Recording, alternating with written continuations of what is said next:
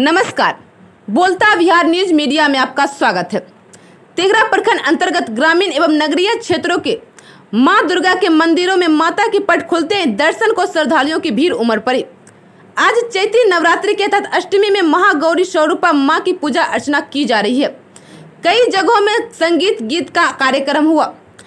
तो कहीं कन्या पूजन भी किया गया। ग्रामीण क्षेत्र के गौरा एक में ठाकुरवाड़ी अवस्थित।